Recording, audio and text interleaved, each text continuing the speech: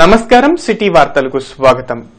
నగరపాలక సంస్థ కార్యాలయంలో ఆధునీకరించిన ఛాంబర్లోకి మేయర్ కావటి శివనాగ మనోహర్ నాయుడు ఈరోజు లాంఛనంగా అడుగుపెట్టారు. ఈ సందర్భంగా గుంటూరు తూర్పు పశ్చిమ ఎమ్మెల్యేలు మహమ్మద్ ముస్తఫా మద్దాలిగిరి మేయర్కు శుభాకాంక్షలు తెలిపారు. నగరంలో కరోనా సెకండ్ వేవ్ ఉధృతంగా ఉన్న నేపథ్యంలో నగర మేయర్ ఈ కార్యక్రమాన్ని నిరాడంబరంగా చేపట్టారు.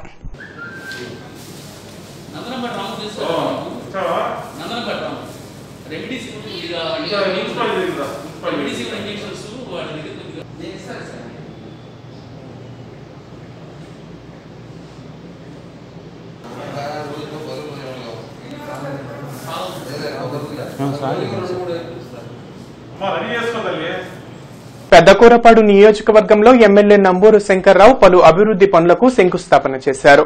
ఈ మేరకు బెల్లంకొండ మండలంలోని చండ్రాజుపాలెం నుండి వన్నాయిపాలెం గ్రామం మీదుగా హసానాబాద్ గ్రామం వరకు నాలుగు కోట్ల ముప్పై ఆరు లక్షల రూపాయలతో నిర్మించబోయే తార్ రోడ్డు నిర్మాణానికి ఆయన శంకుస్థాపన చేశారు.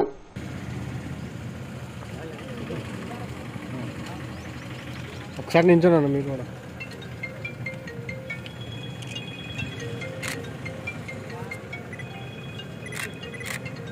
ఎమ్మెల్యే ముస్తఫా తూర్పు నియోజకవర్గంలో విస్తృతంగా పర్యటించారు. పలు కోవిడ్ సెంటర్లను ఆయన పరిశీలించారు.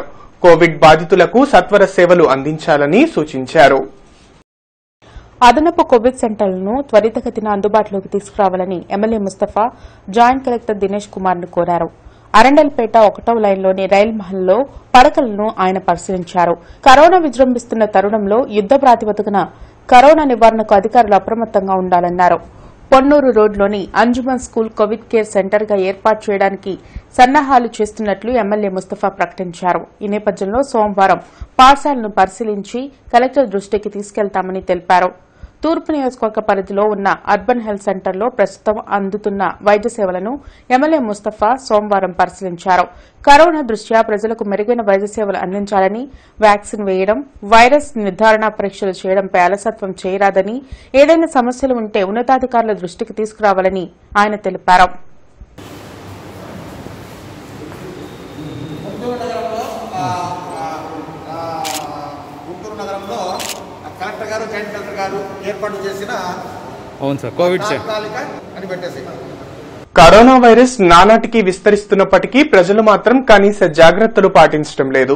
ప్రపంచ వ్యాప్తంగా కరోనా సెకండ్ వేవ్ కొనసాగుతుందని తెలిసినప్పటికీ మాస్క్ పెట్టుకోవటం కూడా కొందరు విస్మరిస్తున్నారు. ఫలితంగా కరోనా పాజిటివ్ కేసులు ప్రతిరోజు పెరగటానికి ప్రజల నిర్లక్ష్యమే ప్రధానంగా కనిపిస్తోంది.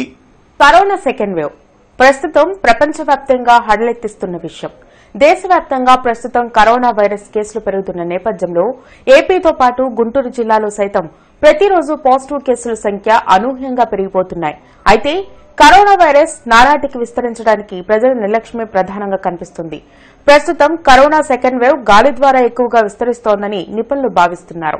అయితే ఇలాంటి తరుణంలో మాస్క్ ఒకటే సరైన రక్షణ కవచంగా కనిపిస్తుంది. అయితే నానాటికి కరోనా పాజిటివ్ కేసులు పెరిగిపోతున్నప్పటికీ ప్రజల్లో మాత్రం అదే నిర్లక్ష్యం కనిపిస్తుంది. సాధారణంగా బయట ప్రదేశంతో పాటు కనీసం ఆసుపత్రి ఆవరణలో ఉన్నామనే ఆలోచన కూడా లేకుండా మాస్క్ లేకుండా సంచరిస్తున్నారు. అదేవిధంగా పేరుకే మాస్క్ పెట్టినా అది సక్రమంగా పెట్టుకునే విధానం మరికొందరికి తెలియడం లేదు. నానాటికి కరోనా వైరస్ కేసులు విపరీతంగా పెరిగిపోతున్న విషయాన్ని ప్రజలు ఇప్పటికైనా గమనించడం ఎంతైనా మంచిది. ప్రతి ఒక్కరూ మాస్క్ ధరించి కరోనా వైరస్ నియంత్రణకు సహకరించాలని అధికారులు సూచిస్తున్నారు. మరికొన్ని రోజులు మాస్క్ ధరించడంతో పాటు శానిటైజేషన్ భౌతిక దూరం తప్పనిసరిగా పాటించి కరోనా వైరస్ మన దరికి చేరకుండా ఉండాలని కోరుకుందాం. కరోనా రెండో దశ వ్యాప్తి ఉధృతంగా ఉన్న నేపథ్యంలో నలభై ఐదు సంవత్సరాలు నిండిన ప్రతి ఒక్కరూ వ్యాక్సిన్ వేయించుకోవాలని రాజ్యసభ సభ్యులు మోపిదేవి వెంకటరమణ పిలుపునిచ్చారు. అదేవిధంగా అందరూ విధిగా మాస్కులు పెట్టుకుని భౌతిక దూరం పాటించాలన్నారు. రేపల్లె ప్రభుత్వ ఆసుపత్రిలో ఇరవై ఐదు ఆక్సిజన్ బెడ్స్ ఏర్పాటు చేసినట్లు తెలిపారు.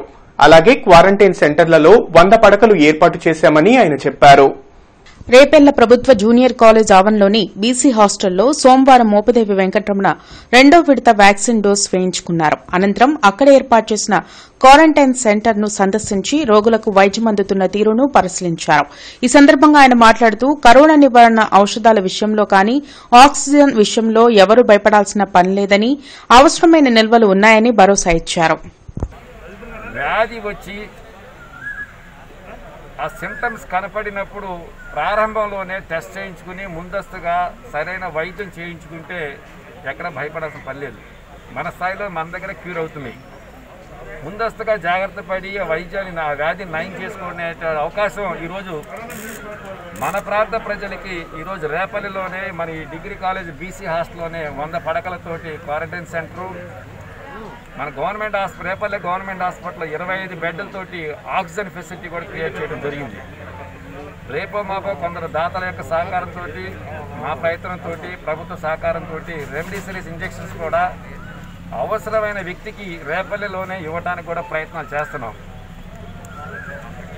అమరావతి రోడ్ సంజీవ్ గాంధీ నగర్లో నూతనంగా డాక్టర్ వైఎస్ఆర్ అర్బన్ హెల్త్ సెంటర్ను నిర్మించనున్నారు. ఎమ్మెల్యే మద్దాలిగిరి నగర mayor Kavati Manohar Naidu deputy mayor Diamond Babu urban health సెంటర్కు శంకుస్థాపన చేశారు. పేద ప్రజలకు మెరుగైన వైద్యం అందించడమే ప్రభుత్వ లక్ష్యమని పశ్చిమ MLA Maddaligiri mayor Kavati Manohar Naidu deputy mayor Diamond Babu పేర్కొన్నారు. సంజీవ్ గాంధీ నగర్లో నూతనంగా నిర్మించనున్న డాక్టర్ వైఎస్ఆర్ అర్బన్ హెల్త్ సెంటర్కు శంకుస్థాపన చేసి అనంతరం మాట్లాడారు. నలభై ఐదవ డివిజన్ ప్రాంత ప్రజలకు వైద్యం అందుబాటులో ఉండేందుకు అర్బన్ హెల్త్ సెంటర్ను నిర్మిస్తున్నామన్నారు. పది పడకలను కూడా ఏర్పాటు చేస్తున్నామని వివరించారు. మరి నిధులు శాంక్షన్ చేస్తున్నటువంటి పరిస్థితిలో భాగంగా మరి గుంటూరు నగరానికి గతంలో పదమూడు అర్బన్ హెల్త్ సెంటర్లు ఉండేటువంటి పరిస్థితి ఉండేది. కానీ ఇప్పుడు పద్దెనిమిది అర్బన్ హెల్త్ సెంటర్లు కొత్తగా మరి శాంక్షన్ అవ్వటం మరి దానికి సంబంధించి పదిహేను అర్బన్ హెల్త్ సెంటర్లకు కూడా టెండర్ పిలవటం కూడా అయిపోయింది. ఇంకా మూడు అర్బన్ హెల్త్ సెంటర్లకు కూడా త్వరలో ఒక వారం పది రోజుల్లోనే టెండర్ కార్యక్రమాన్ని కూడా పూర్తి చేయడం కూడా జరుగుద్ది.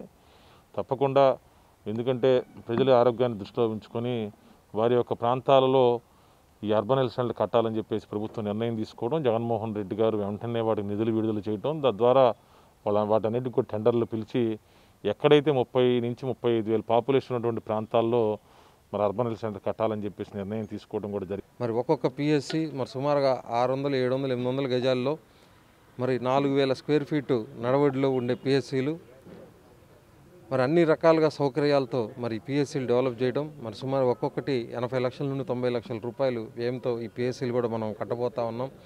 మరి ఆరోగ్యం వాళ్ళు మనం చూస్తూ ఉన్నాం. కరోనాతో ఎంత ఇబ్బంది పడుతున్నామో మనందరం కూడా గమనిస్తూ ఉన్నాం.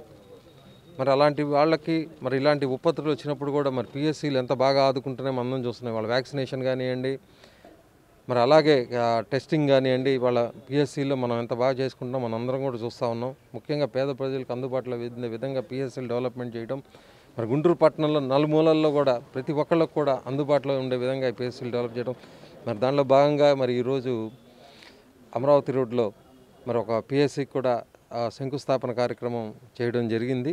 మరి ఇక్కడ ప్రజలకి మెరుగైనటువంటి వైద్య సేవలు అందించేటువంటి ఆలోచనతోటి వారు వచ్చిన అతి తక్కువ టైంలోనే ఇక్కడ ఒక అర్బన్ హెల్త్ సెంటర్ ఏర్పాటు చేసుకోవడం అనేది వారిని ఈ సందర్భంగా అభినందిస్తా ఉన్నాం.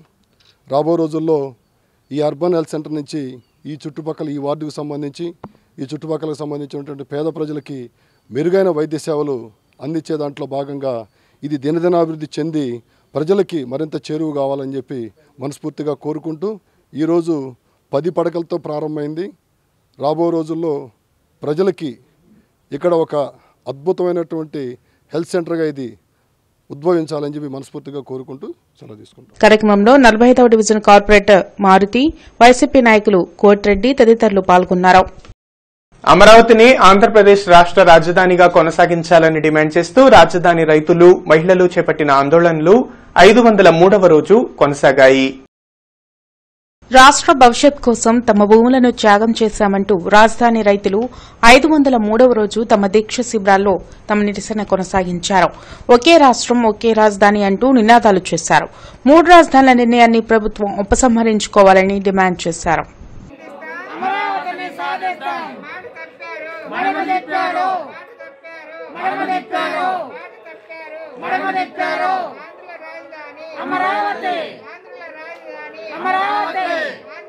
తిరుపతి ఎన్నికల్లో ప్రజాస్వామ్యం గెలవలేదని వైసీపీ గెలిచిందని టీడీపీ జాతీయ ప్రధాన కార్యదర్శి నారా లోకేష్ అన్నారు.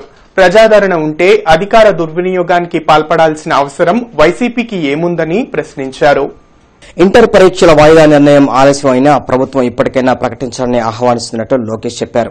ఐక్యంగా పోరాటం చేయటం వల్లే పరీక్ష వాయిదాపై ప్రభుత్వం ప్రకటన చేసిందని అన్నారు. ప్రజా సమస్యల పరిష్కారంపై భవిష్యత్తులో కూడా పోరాటం కొనసాగుతుందని లోకేష్ అన్నారు. ఇంత పెద్ద సమస్య ఉంది. ఈ సమస్య మీద పోరాడాలని ఆనాడే నేను నిర్ణయం తీసుకుంటాం జరిగింది.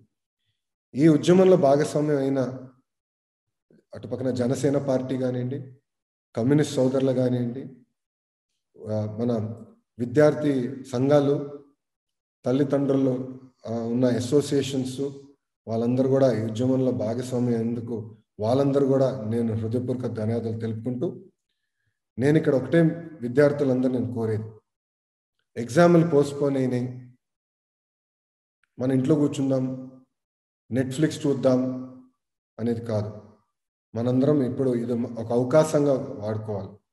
ఎగ్జామ్లు వస్తాం అనివార్యం. కోవిడ్ తగ్గిన తర్వాత తప్పనిసరిగా పరీక్షలు నిర్వహిస్తుంది ఈ ప్రభుత్వం. ఏ ప్రభుత్వం అయినా. దానికి ఇది ఒక మంచి అవకాశంగా తీసుకుని మనం ఎక్కువ ప్రిపేర్ అవ్వాల్సిన అవసరం ఉంది. అంతేకాకుండా ఇప్పుడు లాక్డౌన్ లేకపోయినా సెల్ఫ్ డిఫెన్స్ మన సెల్ఫ్ ఐసోలేషన్ పాటిస్తూ మనందరం మన ఇంట్లో ఉండాల్సిన అవసరం ఉంది. అవసరం తప్పనిసరి పరిస్థితులు బయటికి వెళ్ళినప్పుడు మాస్క్ వేసుకోవాల్సిన అవసరం ఉంది. ఇంటికి వచ్చిన వెంటనే చేతులు కడుక్కుంటాం తలస్నానం చేయాల్సిన అవసరం మనకుంది. ఈ కోవిడ్ని ఇక్కడితో ఆపాల్సిన బాధ్యత మనందరి పైన ఉంది. మనం పోరాటం మన జీవితాల కోసం చేసాం మన పిల్లల జీవితాల కోసం చేసాం ఇప్పుడు ఈ వచ్చే నెల మనందరం జాగ్రత్తగా ఉండాలి. మన వల్ల ఆంధ్ర రాష్ట్రంలో కోవిడ్ పెరగకూడదు. దానికి మీరందరూ సహకరిస్తారని నేను ఆశిస్తున్నాను. విద్యార్థులందరూ ఈ సమయం ఏదైతే మనకు దొరికిందో ఎగ్జామినేషన్లో ఇంకా మెరుగైన రిజల్ట్స్ వచ్చే విధంగా బాగా కష్టపడాలని చదవాలని చదవాలని వాళ్ళందరినీ నేను కోరటం కూడా జరుగుతుంది. ఇవి ఇప్పటివరకున్న న్యూస్ అప్డేట్స్. మరిన్ని అప్డేట్స్తో మళ్ళీ కలుద్దాం. అంతవరకు సెలవు నమస్కారం.